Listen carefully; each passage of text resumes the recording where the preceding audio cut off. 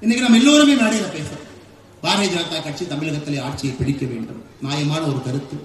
நம்ம எல்லோரும் அதற்காகத்தான் எல்லா வேலையும் விட்டுவிட்டு அரசியலை முழு நேர வேலையாக இங்கே செய்து கொண்டிருக்கின்றோம். மண்டல் தலைவர்கள் ஆரம்பித்து தொண்டர்கள் ஆரம்பித்து மேடையில் இருக்கக்கூடிய எல்லா தலைவர்கள். ஆனால் அது கடினமான ஒரு பாதை. அந்த பாதை ஒரு முள் பாதை. அதில் எளிதாக நடந்துவிட முடியாது. அரசியலை அரியணையை பிடிக்க வேண்டும். பாரதிய ஜனதா கட்சியை ஆட்சிக்கு கொண்டு வர வேண்டும் என்றால் பாரதிய ஜனதா கட்சி தமிழ் மக்கள் முன்னால் சொந்த பலத்தில் நிற்கும். இதுதான் அந்த இடத்திற்கு வருவதற்கான முதல் தகுதி. சொந்த பலத்தில் இந்த கட்சி நின்று காலோண்டு நிற்க வேண்டும். முதல் தகுதி. இரண்டாவது தகுதி நமக்கு இருவரும் எதிரிகள் தான். அதில் எந்த சமரசமும் கிடையாது. என்னை பொறுத்தவரை மாநில தலைவராக இந்த கட்சியினுடைய தொண்டராக இருவரும் ஒரே மாதிரி தான் எதிர்க்கும் திராவிட முன்னேற்ற கழகம் என்பது ஒரு தீய சக்தி. அது ஐம்பது ஆண்டு காலமாக தமிழக மக்கள் நன்றாக உணர்ந்திருக்கக்கூடிய ஒரு தேசம் தமிழகத்துல திமுகவினுடைய கூட்டணியும் பாரதிய ஜனதா கட்சியினுடைய கூட்டணி வரும். இன்னைக்கு டிவியை போட்டீங்கன்னா இதான் பேசுவாங்க. எல்லாம் ஏசி ரூம் உட்கார்ந்து விமர்சகர் வலதுசாரி இடதுசாரி எத்தனை சாரி இருக்குன்னு தமிழ்நாட்டுடைய மீடியாவை பார்த்தா தான் நமக்கே தெரியும். எல்லாரும் பேசுவாங்க. இல்ல இல்ல மாநில தலைவராக இருந்த கட்சியில் அண்ணாமலையும் ஒரு தொண்டன் தான். எப்பொழுதும் கூட்டணியா வராது நீங்க சொல்லுங்க பார்க்க இந்த மீடியா நண்பர்கள் அடிக்கடி கேட்கக்கூடிய கேள்வி என்னன்னா நம்மளை அப்படி பிரஷர்ல போகணும் அப்படின்னா தமிழரசு அக்கா யாராச்சும் இருக்கா மைக்க டேட்டி உங்களுக்கும் திமுகவுக்கும் எப்பவுமே கூட்டணி வராது நீங்க சொல்லுங்க பாக்க நான் சொல்றேன். நான் சொல்றேன். இது பாரதிய ஜனதா கட்சி ரத்தமாக ஓடிக்கொண்டு மத்தியிலே பாரதிய ஜனதா கட்சியினுடைய தலைவர்கள் எல்லோரும் இங்க இருக்கக்கூடிய தொண்டர்களை கேட்டுத்தான் முடிவெடுக்கின்றார்கள். காங்கிரஸ் கட்சியில் இல்லாமல் இருக்குன்னா அது பாரதிய ஜனதா கட்சியில் எப்பவுமே இருக்கு.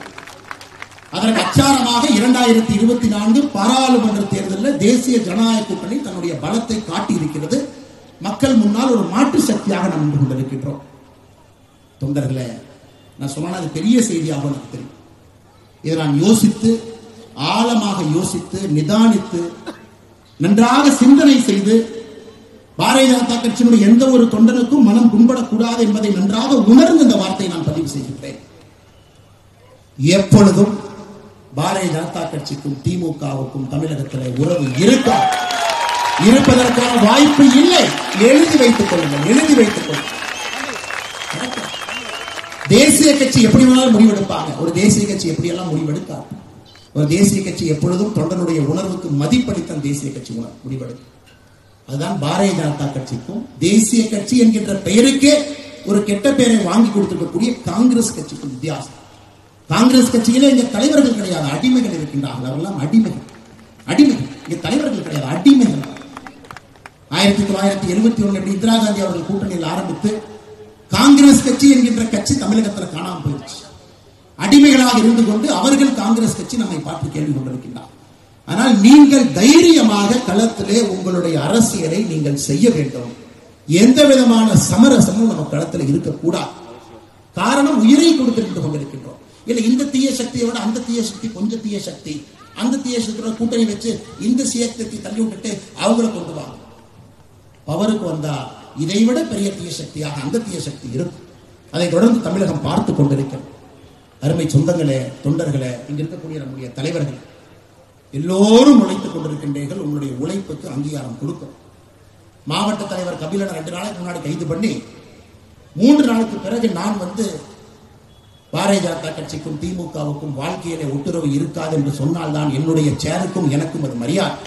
இங்கே ஒரு தலைவனை இங்கே அமர வைத்துக் கொண்டு ஐந்து நாட்கள் சிறையில் இருந்து வந்த தலைவனை வைத்துக் கொண்டு அரசியல் மாறும் காலல் மாறும் சூழல் மாறும் என்னவெல்லாம் நடக்கலாம் சொல்வதற்கு நான் இங்கே தலைவராக இல்லை. பாரதிய ஜனதா கட்சியினுடைய தொண்டராக நான் இல்லை என்று சொல்வேன் ஆனால் பாரதிய ஜனதா கட்சியினுடைய தொண்டர்கள் நீங்கள் தைரியமாக களத்தில் இருக்க வேண்டும்.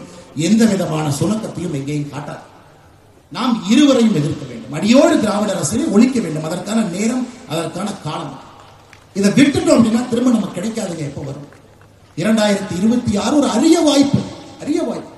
இந்த வாய்ப்பை விட்டுவிட்டால் திரும்ப இது போல ஒரு வாய்ப்பு எப்பொழுது வரும் என்பது நமக்கு தெரியாத அன்பு சொந்தங்கள். இதை மாநில தலைவராக உங்களிடம் சொல்வது என்னுடைய கடமையாக நான் கருதுகின்றேன்.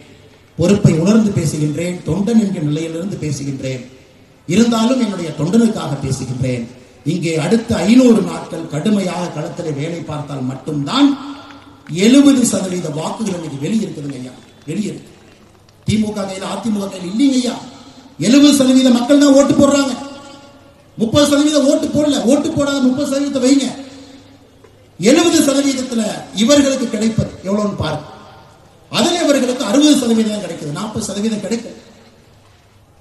இன்னைக்கு இவ்வளவு மக்கள் வெளியே நின்று கொண்டிருக்கின்றார் அறுபதிலிருந்து எழுபது சதவீதம் ஒரு ஒரு தேர்தலிலும் ஒரு திராவிட கட்சிக்கு வாக்களிக்காம நின்று பார்த்து கொண்டிருக்கின்றார். வாக்களிக்க பிடிக்காதவர்கள் முப்பது சதவீதம். இன்னொரு கட்சி தோற்கும் என்று தெரிந்தும் திமுக அதிமுகவுக்கு ஓட்டு போடக்கூடாது என்று போடுவர்கள் இவ்வளவு பேர். அறுபதுல இருந்து எழுபது சதவீத ஓட்டு இன்னைக்கு சாயந்தரம் தமிழகத்துல திராவிட கட்சிகளுக்கு மாற்றாக இருக்கக்கூடிய ஒரு கட்சிக்கு அது காத்திருக்கு. நாம் என்று செய்ய வேண்டிய வேலை அரசியல் கட்சியாக இருக்கின்றோம் ஆளத் தகுதியான கட்சி என்பதை நாம் நிரூபிக்க வேண்டும் இரண்டுக்கும் ஒரு வித்தியாசம். அரசியல் கட்சிக்கும் ஆளத் தகுதியான கட்சிக்கும் ஒரு சிறிய வித்தியாசம் அதை இன்று நம்முடைய தொண்டர்கள் தலைவர்கள் களத்திலே காட்ட வேண்டும் என்பது என் அன்பான வேண்டுகோள் India's number one AI empowered institution, JKKN. Admissions open for engineering, pharmacy, allied health sciences, arts, nursing, and dental. JKKN Institution, Kumarapalayam.